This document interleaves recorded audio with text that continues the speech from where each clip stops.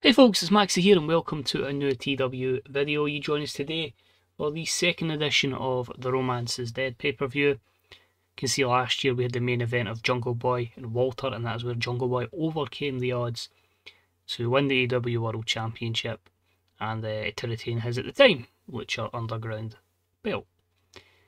Now this one with a main event, Cody Rhodes defends AEW World Championship against Jon Moxley, against MJF, and against Malakai Black.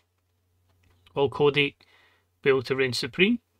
We shall find out as we head into, let's say, a good run of shows here uh, next week in game, and next week's video is going to be the women's show, so there is some stuff here that uh, sets up for that. And then we're on the road to uh, Whose House, the next event at the start of March, and then, of course, Revolution after that. So sit back, relax, and we'll go through every storyline as the video unfolds. Let's do it. So live on the AEW Plus network, we are at the FedEx Field, sold out in front of 82,000. And we start off with some good in-ring action. It is for the Trios Championship. And it is challengers from the Rampage brand in the form of Dragon Lee, who is paired up alongside Top Flight. And they challenge Wardlow, Randy Orton and Richard Holliday. This one was a good match. Wardlow, Orton and Holliday defeat Dragon Lee Top Flight in 1332 when Wardlow pinned Dante with the Splash Mountain Powerbomb. It's a third defence of the World Trios Championship, uh, pretty handy 84. And you can see there the better performances from the likes of Dragon Lee and Dante. And uh, yeah, Dragon Lee's a little bit stale, that's fine, we can work on that. I thought it was a good combination to put them together. But continue to make Wardlow and Richard Holliday look extremely strong. So the latest challengers for the AEW Women's Tag Championships. This is another one that's predominantly mostly on Dynamite, but it's a Rampage Challenger, kind of open challenge here. So Mercedes and her protege, Roxy, took on the team of Saraya Knight and Valkyrie, who've both had good runs. They both have had championship matches against Demi Bennett in recent weeks, whether on pay-per-view or in Valkyrie's case on television. But it was a good match up here, and it saw Mercedes and Roxy defeat Saraya and Valkyrie in 12-23 when Mercedes pinned Saraya, giving them their second defence of the women's title. Roxy the weak link, but she's still going to develop here. Uh, interestingly, with all these wins, Mercedes is like most momentum ever. Her popularity is probably sky high as well, and a, a very good 81 segment. So good match up there in the women's division. After it, we hear from Britt Baker and Anna Jay, and they just say it's very nice that you know Mercedes has decided to adopt this little Roxy as a protege, but they've got no time for kind of looking out for people. They are going to try and become the EW Women's Tag Team Champions. So basically, we're going to make it like a kind of multi-person tag match because obviously that's two heel teams. I want to get some baby faces in there as well, but making it something proper, good and big for the Women's Tag Team Championships. So a 71 there. Also in the AEW Women's Division, we had the Queen of AEW Championship on the line. It was former champion Yuka Sakazaki who challenged Tay Melo, and here we had a good matchup. Great even wrestling. As Tay Melo defeated Yuka in 1336 with uh, Tayagoshi. It was the 11th defence of the Queen of AEW Championship. Again, just getting as much prestige to that belt as we can get. Made it steal the show. 87 from Yuka, a 76 from Tay, still decent. So I think if we take away the psychology penalty here, you could probably at that being an 84, maybe an 85. So good work there. It shows that ended that's other run with the Queen of AEW throne is basically good enough to go straight to the top two brands. But I realise I just need to keep gaining the prestige in that belt. I don't want to keep hot potato on it as much. So a lot of good reigns there. And Tay Melo's run at the moment is pretty good. We then have a segment here. So what was in Mayu versus Veronica before? So this one I basically had basically the two of them in the ring, and Veronica says there's all this thing that I can't wrestle because obviously all our stats technically are under 36. So she's like, you know what? I want to prove I'm better than you. I'm going to beat you at this big event next week, but I'm going to show you that I really can wrestle, and we're going to make it two out of three falls. I'm going to beat you once, I'm going to beat you twice, and I'm going to show I'm the better woman. So, in theory, if we Veronica win, then she could lose a fall and it still wouldn't count to the record. Or Mayu could beat her once and twice and we go for there. So I'm intrigued to see how I book it. I think it's probably obvious how I'm going to book it. But it's a good way to get a cheap 100 segment and that's going to main event next week's show because of how good they done. Uh, and you can see as well, by the way, uh, Ian Riccaboni's on a commentary team now. Um, even though I said he was pretty weak, he was probably the better guy for the job. Excalibur has a better rating for um, colour, as does Morrow for some reason, but aye, putting these two here gets me my cheap 100 rating so I can put all the pressure in the main event. But looking forward to seeing how they do in a, a longer match next week and seeing hopefully the longer match helps the skill set of Veronica as well develop. That's a bit underwhelming. I thought this would do better, but anyway.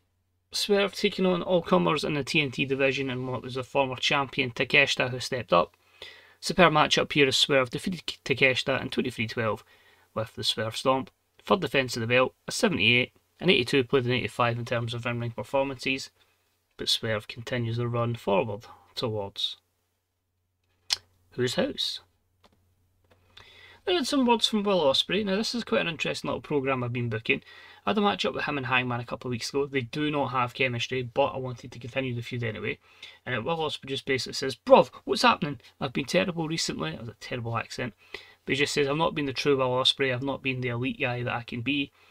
If I can beat people like Hangman Page, I show that I should be right back in this picture towards becoming AEW World Champion. Simple, effective, 85. I know I've not really booked Bill Will Ospreay great.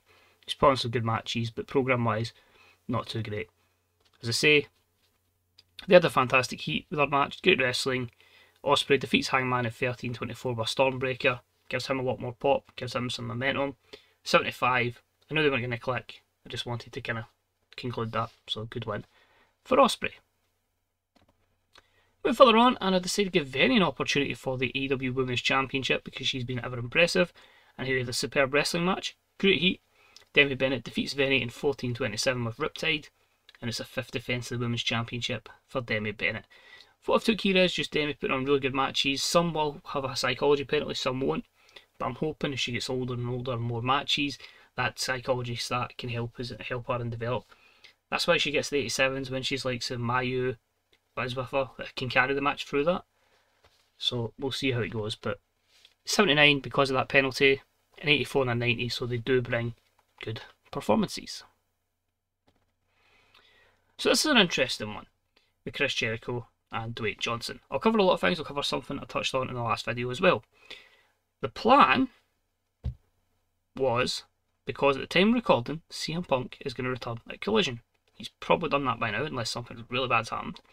So I thought, I'll bring Punk back, because he's back. I, I honestly didn't think he would come back, so that's why I'm like, I'll bring him back. And then from there, he's not going to wrestle. We'll just have him as a manager, basically the voice of the voiceless because I was so convinced he wasn't coming back, I'd completely destroyed his morale. He doesn't want to speak to us. So I was like, cool, I still want to have someone as the voice of the voiceless. But like a manager to carry these younger talents, but who can it be? So what I did is, it's now going to be Chris Jericho. Because Chris Jericho is going to turn heel here, and he's going to get God complex. And he says, I've done various things over my career, world champion, Ojo, Le Champion. I want to be God.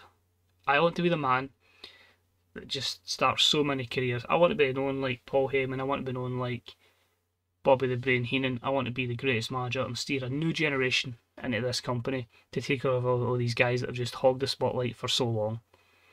So um, over week and weeks, you're going to see these younger talents come through and they're going to beat your favourites. This leads to Dwayne coming out because Dwayne just does whatever he wants in this save. He basically just says, well, that's cool. We spoke to TK. We know you've had authority previously here in AEW. We're stripping you of that, so that's not going to happen. So, yeah, cool. You can go on this managerial thing, but consider your powers of authority over and done with. And while I'm here, let's some, make some good vibes for next week. Confirming, uh, Dwayne also says basically confirming that we're going to have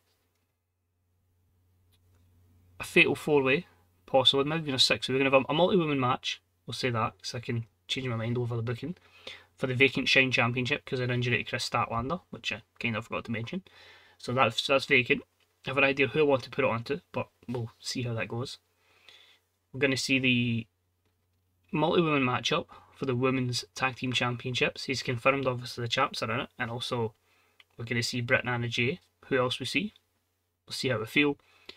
And on Dynamite, etc we're going to determine who deserves to face Demi Bennett for the Women's Championship, aka I don't know right now. So well, that's just my way of him blabbering through, getting positive PR to say we've got a lot of stuff planned for next week, which is still up in the air. But hopefully, I get a confident the women's show can deliver because there's a lot of talents that I've been booking, obviously on television that haven't had many pay per views that maybe need that spotlight. So anyway, junior gimmick for Chris to God Complex from Horny Pensioner. Uh, oh no, no, Turnhill, that does both. It's been a while. Uh, Chris Jericho is now using the God Complex, which is initial rate of great. Ah, perfect.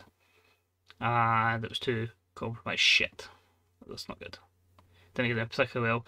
Uh, the reason is I've got more more turns coming. Which of his many angles as he had.